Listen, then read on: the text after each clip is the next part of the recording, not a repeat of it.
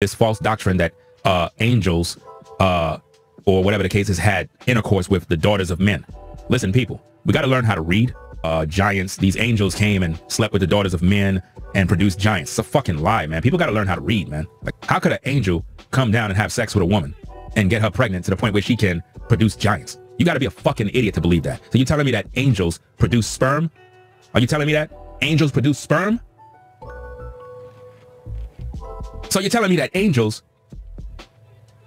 have a D-I-C-K. That's what you're telling me. Okay. So this is polygyny is a package deal part two. Okay. So in order to understand the roots of polygyny, why it was practiced in the Old Testament under the law of Moses, and even during the kingship of King David and King Solomon, okay, we must understand why it was taken away from us, although it was our heritage, why it was taken away from us, as I always say, sin is incredibly expensive. And anytime sin is committed, there's a penalty to pay for that. Okay, as I stated in part one of this series, one of the curses in Deuteronomy 28 is that another man will lay with the wives of the children of Israel. Okay, it's talking about the transatlantic slave trade. I will talk more about that later on in this series. Okay, I want to start with the transgression of the fallen angels. Okay, in part one, I introduced Enoch, who was a scribe, and Enoch was a man of the Lord, uh, mentioned in the book of Jude briefly. Okay, and also in Genesis chapter 5. The book of Enoch is legitimate, as I expressed in part one. We're going to start from Enoch chapter 106. During the generation of Enoch, he learned about the transgression of the fallen angels, and he was explaining to Lamech, who is the son of Enoch, why Noah had a strange countenance. Okay, so let's start at verse 1, chapter 106. It says, and after some days, my son Methuselah took a wife for his son Lamech, and she became pregnant by him and bore a son. And his body was white as snow and red as the blooming of a rose. Now, in Genesis 25, we see this strange countenance again with Esau.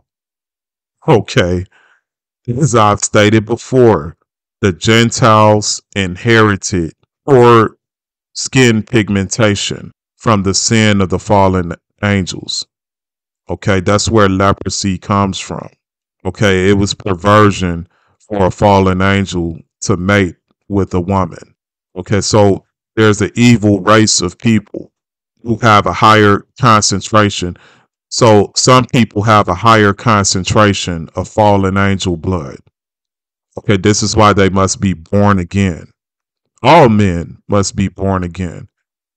But continuing, it says, And the hair of his head and his long locks were white as wool, and his eyes beautiful.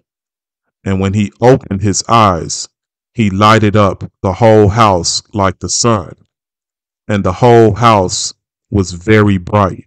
Okay, so this is describing the appearance of a grown man. Men at one point did not come into the earth as babies. Okay, Adam did not come into the earth as a baby, obviously, because he was created directly from God, from the soil of the ground. Okay, again, this is one of the things that sin has taken away from men. Okay, the maturation process of a man himself. Okay, then a time will come where men would have to come into the earth as a baby. Okay, that's a generational curse. So this is a grown man that Lamech is speaking about, talking about Noah. Verse 3, it says, And thereupon he rose in the hands of the midwife, opened his mouth, and conversed with the Lord of righteousness. And his father, Lamech, was afraid of him and fled and came to his father Methuselah. And he said unto him, I have begotten a strange son, diverse from an unlike man, and resembling the sons of the God of heaven, and his nature is different, and he is not like us, and his eyes are as the rays of the sun, and his countenance is glorious. And it seems to me that he is not sprung from me, but from the angels. And I fear that in his days a wonder may be wrought on the earth. And now, my Father, I am here to petition thee and implore thee that thou mayst go to Enoch, our father. Lamech was the grandson of Enoch. Correction. It says, and learn from him the truth, for his dwelling place is amongst the angels. Enoch was so entrusted by God. Again, Enoch is a man I described according to scripture in part one. He walked with God for 300 years, according to Genesis chapter 5. Okay, so I've already established that the book of Enoch is legitimate. He was going back and forth between man and God, hearing from God, and he was also communicating with the angels these angels who were locked up in chains of darkness for the transgression against God, the uh, rebelling against God, mating with the daughters of men. Now, I will establish also later in this series that angels are able to take on flesh. Okay, we saw this during the days of Lot. All right, the angels were able to eat food. They're able to eat food, then they have a digestive system. Okay, it's about them leaving their first estate. All right, but I'm not going to touch on that right now. Verse 8 And when Methuselah heard the words of his son, he came to me to the ends of the earth, for he had heard that I was there. And he cried aloud, and I heard his voice, and I came to him, talking about Enoch. And I said unto him, Behold, here I am, my son. Wherefore hast thou come to me? Verse 9, he says, And he said, and he answered and said, Because of a great cause of anxiety have I come to thee, and because of this a disturbing vision have I approached. Verse 10, And now, my father, hear me, unto Lamech my son, there hath been born a son, the like of whom there is none, and his nature is not like man's nature, and the color of his body is whiter than snow, and redder than the bloom of a rose, and the hair of his head is whiter than white wool, and his eyes are like the rays of the sun. And he opened his eyes, and thereupon lighted up the whole house. Like so his hair is like wool because he's also mixed with with man's seed. Okay, the original man was made in the image and likeness of God. Verse 11, and he arose in the hands of the midwife and opened his mouth and blessed the Lord of heaven. Verse 12, and his father Lamech became afraid and fled to me and did not believe that he was sprung from him, but that he was in the likeness of the angels of heaven. And behold, I have come to thee that thou mayest make known to me the truth. Verse 13 And I, Enoch, answered and said unto him, The Lord will do a new thing on the earth. And this I have already seen in a vision and make known to thee that in the generation of my father Jared, some of the angels of heaven transgress the word of the Lord. Verse 14 And behold, they commit sin and transgress the law, and have united themselves with women, and commit sin with them, and have married some of them, and have begot children by them. You see that. This is why they don't want you to know that the book of Enoch is legitimate. Okay, because it speaks directly again. Why is Lucifer on Lake Row? which is one of the questions I featured in part one. Okay, this is the reason why, one of the reasons why the fallen angels are going to be cast into the lake of fire. This is one of the reasons why demon, and this is the reason why demons have offspring from the women, the union of the fallen angels and the women. Okay, you don't get demons into the earth. How did demons get here? All right. You don't get demons in the earth without that union. Okay, verse 15. Yea, there shall come a great destruction over the whole earth, and there shall be a deluge and a great destruction for one year. Talking about the flood of Noah. Verse 16. The flood during the days of Noah. Verse 16. And this son who has been born unto you shall be left on the earth, and his three children shall be saved with him, when all mankind that are on the earth shall die. He and his sons shall be saved. Verse 17 And they shall produce on the earth giants, not according to the spirit, but according to the flesh. And there shall be a great punishment on the earth and the earth shall be cleansed from all impurity. So the giants came from the union of the fallen angels and the women. Verse 18 And now make known to thy son Lamech that he who has been born is in truth his son, and call his name Noah. All right. For he shall be left to you, and he and his son shall be saved from the destruction. Okay. So so Enoch is the one who revealed to Lamech his grandson that this is the reason why Noah was a leper. Okay. Noah was of mixed seed. Okay. Noah was plagued with this fallen angel DNA. All right. But because of Noah's obedience to the Most High, God spared him. Okay. Because without faith, it's impossible to please God. And obviously, Noah had faith. But God restarted man's genealogy with Abraham. Okay, the Hebrew covenant was made through Abraham because Abraham's bloodline was pure enough. Okay, so Abraham, because Abraham was originally a Chaldean.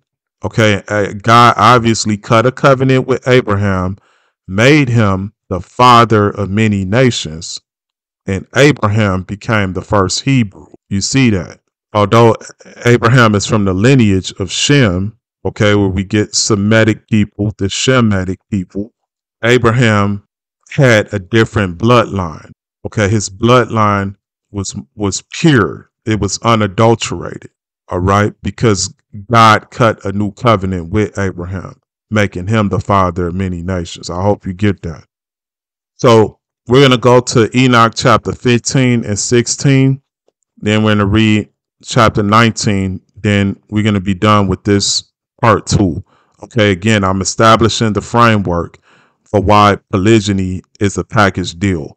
Because when the children of Israel sojourned, all right, and they were led by Moses, the law of Moses, which God intentionally called it the law of Moses, because he knew before the foundation of the world that there would be a law of grace. That's why he didn't just call it the law of God, understanding that under the law of grace, they would not be able to keep the laws of Moses. Okay? Because Paul said the law killeth. The letter of the law killeth. All right? Which I'll get to in part three when we're talking about the law of jealousy, which I've touched on before. Okay, you're talking about laws of men who are able to commit forced entry okay, and make that woman his wife. Okay, all of those laws cannot be practiced. That's all a part of the package deal I'm talking about when it comes to polygyny. Why? Because God consecrated the children of Israel from all the other nations who were plagued with this demon DNA, which I'm talking about here in part two. All right. So we're establishing that framework here as well. So, Enoch chapter 15, starting at verse 1, it says, And he answered and said to me, And I heard his voice saying, Fear not, Enoch, thou righteous man and scribe of righteousness, approach hither and hear my voice. And go, say to the watchers of heaven, who have sent thee to intercede for them. You should intercede for men and not men for you. Wherefore have ye left the high, holy, and eternal heaven, and lain with women, and defiled yourselves with the daughters of men, and taken to yourselves wives, and done like the children of earth, and begotten giants as your sons. Verse 4 And though ye were holy, spiritual, living the eternal life, you have defiled yourselves with the blood of women. Catch that. They defiled themselves with the blood of women. So there go your the menstrual cycle. That's the monthly menstrual cycle right there. Because the fallen angels defiled themselves with the blood of women. Okay? Before Eve sinned, she did not have a menstrual cycle. All right? Continuing on. And have begotten children with the blood of flesh. And as the children of men have lusted after flesh and blood, as those also do who die and perish. Therefore have I given them wives also, that they might impregnate them and beget children by them, that thus nothing might be wanting to them on earth. Verse 6 But you were formerly spiritual. Catch that because they will say, well, the angel is a spirit. How can a spirit? No, it says here, but you were formerly spiritual. Because remember, the angels left their first estate, which was holiness. So that was their former estate. Okay, but you were formerly spiritual, living the eternal life and immortal for all generations of the world. And therefore, I have not appointed wives for you, for as for the spiritual ones of the heaven, in heaven is their dwelling.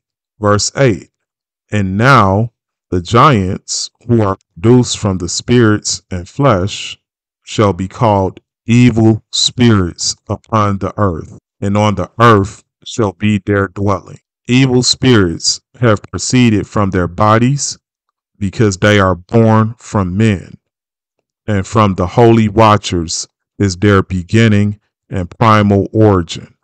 They shall be evil spirits on earth, and evil spirits shall they be called.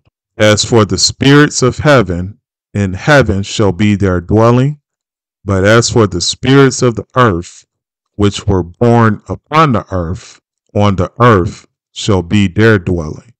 And the spirits of the giants afflict, oppress, destroy, attack, do battle, and work destruction on the earth and cause trouble. They take no food, but nevertheless hunger and thirst, and cause offenses. And these spirits shall rise up against the children of men and against the women, because they have proceeded from them. That's where demonic spirits come from. They come from the union of the fallen angels and the women. And it says it here in Enoch chapter 15. Okay. That's where a demon is a D man. Okay. A demon is a defiled man. Okay. But it's a disembodied spirit. So basically, these spirits came from the women. Their, spirits, they were once giants, born from women. But when God flooded the earth, their spirits roam the earth, even to this day. Okay, until the day of torment, which I'll talk about. Okay, chapter 16, verse 1. From the days of the slaughter and destruction and death of the giants, from the souls of whose flesh the spirits, having gone forth, shall destroy without incurring judgment. Thus shall they destroy until the day of the consummation, the great judgment in which the age shall be consummated, over the watchers and the godless. Yea, shall be wholly consummated. So it's fallen angels, demons, and those who are possessed by demons, okay, who are not born again, okay, they're bl- born again, blood bought believers in Jesus Christ, okay, they're being renewed and cleansed from this fallen angel DNA. Those people are going to the lake of fire. Okay, the scriptures say death, hell, and the grave is cast into the lake of fire. All right, verse 2. And now, as to the watchers who have sent thee to intercede for them, who had been aforetime in heaven, say to them, You have been in heaven, but all the mysteries have not yet been revealed to you, and you knew worthless ones. And these, in the hardness of your hearts, you have made known to the women, and through these mysteries, women and men work much evil on the earth. So, in part one, I read from Genesis chapter 3, where it says that Satan, the serpent, said to the woman, For God know the day that you eat of the tree, you shall be wise and know the, the difference between good and evil, and ye shall be like God. Well, this is what this is giving a little more information. Eve and Adam, Adam and Eve had to learn godlessness from the fallen angels, which I'll talk about in part three. They taught them all of these things. Okay. It says these are the mysteries. Okay. But God said these were worthless mysteries that the fallen angels knew that they taught to men. Okay. Verse four say to them, therefore, you have no peace. Okay. This is why demons are so angry. All right because they're tormented spirits. They they eat darkness. I meant to say this when reading from chapter 15. Demons, they don't hunger or thirst like human beings to eat food like human beings. Okay, they eat darkness. All right. Okay, so chapter 19 is three verses here. It says, And Uriel said to me, said to Enoch, Here shall stand the angels who have connected themselves with women and their spirits assuming many different forms. They are defiling mankind and shall lead them astray into sacrificing to demons as gods. Here they shall stand till the day of the great judgment in which they shall be judged till they are made an end of. And the women also of the angels who went astray shall become sirens. Verse 3 And I, Enoch, alone saw the vision, the ends of all things, and no man shall see as I have seen. See, Enoch was a real important man, okay? And they removed it from the scriptures, okay? Like Revelation chapter 22 prophesied. that Those who remove from the words of this book shall receive the judgments that are written in this book. Okay. So in verse one, he said, These evil spirits, these demons, they assume many different forms and defile mankind. Okay, these are water kingdom spirits, marine kingdom spirits. Okay, they're called masquerade demons. When you have dreams and you seeing a beautiful woman coming into your dream trying to have sex with you. Okay, those are succubus demons. Okay, if you saw the way that these spirits really look, okay, they have half human and like half octopus.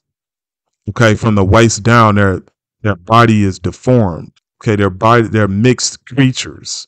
Okay, but they have the ability to take on different forms. See, these guys don't know what they're talking about. When you have multiple sex partners because of this generational curse, uh, the fallen angels plaguing the bloodlines of men, okay, you have what I call third party satanic soul ties. Demons, again, defile men, they defile women through their blood, okay? And God was trying to use pure vessels under the old covenant. Even with having virgin women, polygyny is a package deal. Okay, so those women had to be consecrated when they were on their monthly cycle. For one week, they had to be put isolated from the camp. Okay, you had to do that with every single woman in the camp. Think about that. Okay, this is why men were allowed to have multiple wives. Okay, because of the consecrations. What's the point of the consecrations? To prevent men from getting demon possessed.